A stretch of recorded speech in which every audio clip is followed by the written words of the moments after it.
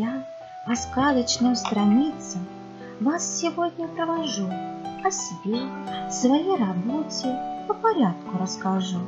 Мир прекрасный утром рано я встречаю у дверей. Взрослые идут с улыбкой, за руку ведут детей.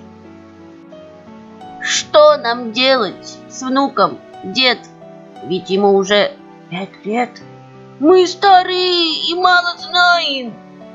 Как его мы воспитаем? Ты не знаешь, бабка, что ли? Рыбка золотая в море. Не вот я закину свой, чай подскажет нам с тобой. Я волшебница морская. О чем печалишься, старик? А ли беда какая? Ищи внуку педагога. Говорят, их где-то много. Нам бы лучшего найти. Подскажи, куда идти? Про воспитателей я знаю много. Из глубины веков идет дорога. И прежде чем начнете путь, на воспитателя прошу я вас взглянуть.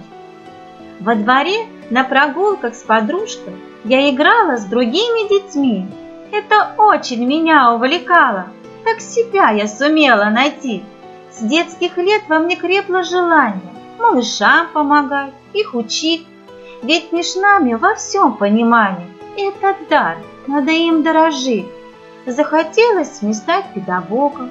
Я учиться пошла в институт. В жизни выбрать смогла я дорогу. Дети любят меня, с нетерпением ждут.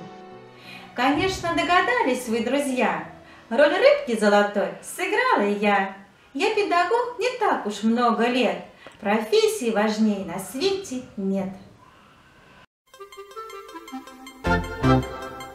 Thank you.